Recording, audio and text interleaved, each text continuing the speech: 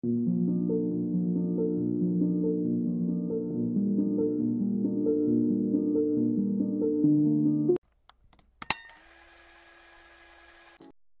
start by connecting my 555 timer IC to the breadboard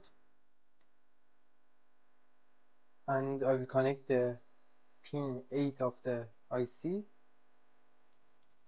to the positive rail of the breadboard.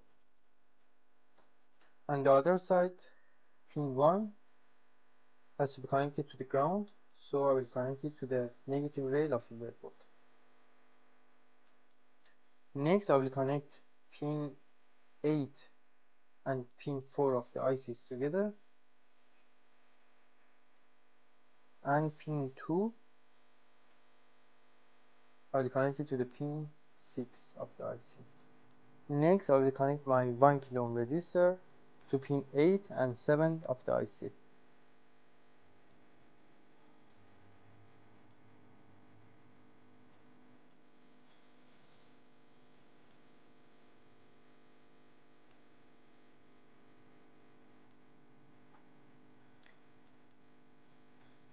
Here is my 10 kilo ohm resistor. I will connect it to the pin 6 and 7 of the IC.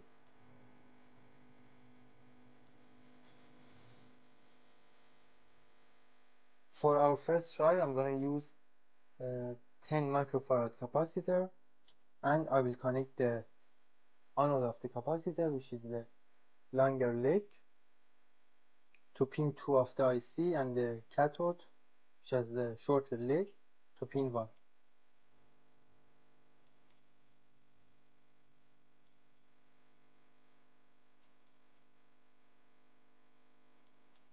Next, I will extend my output, which is the pin 3, via this red jumper wire. So let's connect our jumper wire to pin 3 and the other side to a blank spot on breadboard. Good. And I'm to use a blue LED. I will connect the anode, longer leg, to the output of our circuit which is pin 3 and the cathode will be connected to a will be connected to the negative rail of the breadboard via this 220 ohm resistor.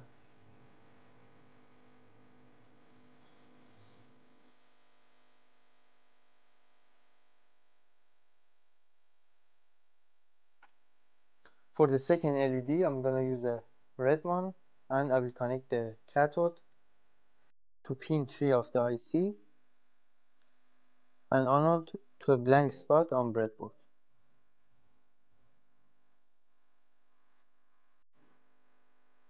Next, I'm going to use my 470 ohm resistor and I will connect to a to the anode of the LED and the other side of the resistor to pin 4.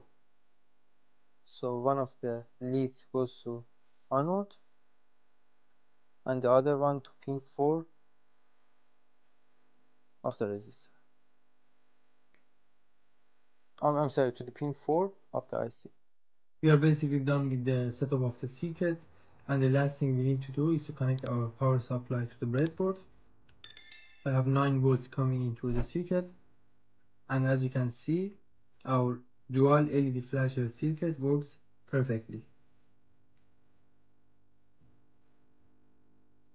Now let's change the flashing rate of these LEDs. Let's increase the flashing rate. How we can do it?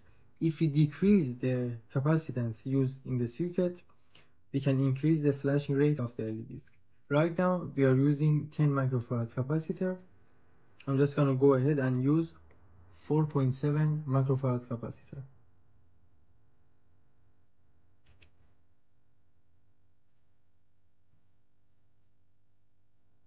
Let's see the result.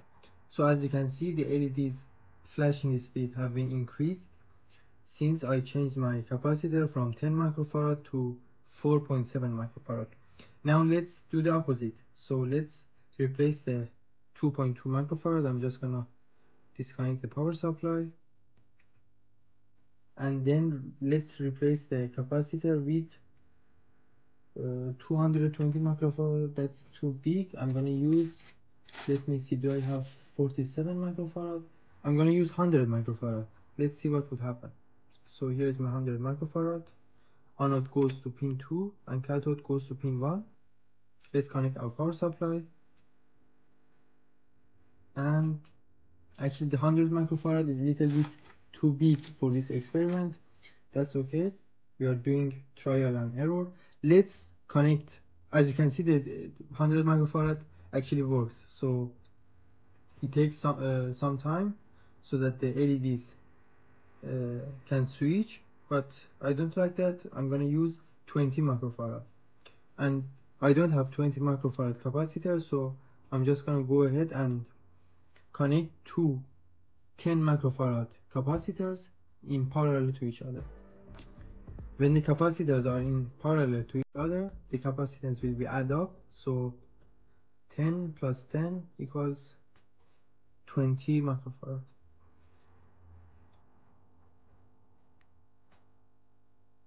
and the next one.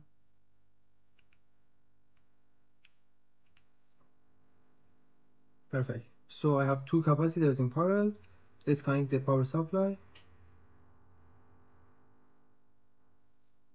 And the flashing rate as you have seen I've increased the capacitance so the flashing rate of the LEDs has been decreased. And it's much slower than our 10 microfarad capacitor so guys that was our cool dual LED flasher circuit on breadboard. I have previously built a single LED flasher circuit using uh, a BC547 transistor on breadboard. I will share the link. You can go there go to the video and check it. You can also build single LED flasher circuit but you know dual LED flasher circuit that would be much more interesting. So thanks for watching. Please like this video if you enjoyed it and subscribe my youtube channel